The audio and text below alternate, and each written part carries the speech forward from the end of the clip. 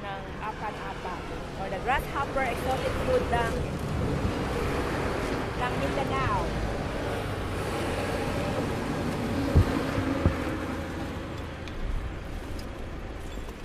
Pamaniti ha. Ah.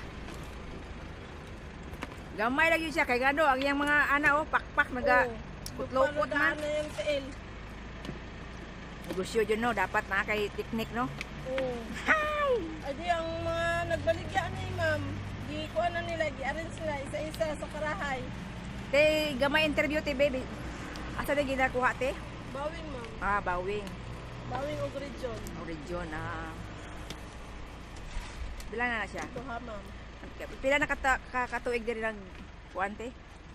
Pila na kakatuig diri nag ah, tinda-tinda? Duha ka tuig na ma'am. Ah, okay. Pila na siya? Duha ka baso.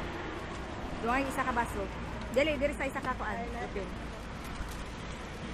Kani si ate. Ate siya pangalan ni mo, te. Rose. Hi, hi Ate Rose.